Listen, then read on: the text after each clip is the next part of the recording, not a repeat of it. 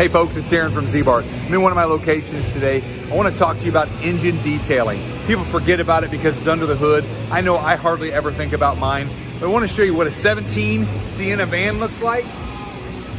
We're getting ready to do the engine clean. This is the prize over here. It's a 1998 Toyota Camry. Yes, a 20 year old vehicle. Look how amazing that engine looks. If you've never had detailing done by Ziebart, one of the things we offer is engine detailing. Check us out.